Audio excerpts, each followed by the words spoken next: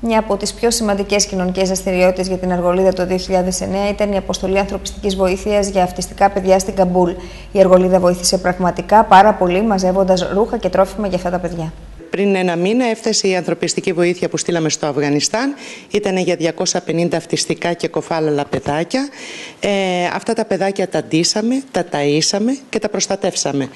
Ε, πρέπει να ευχαριστήσω όλους έναν προς έναν ε, γιατί ε, η κίνηση αυτή που έγινε ήταν για πολύ καλό σκοπό.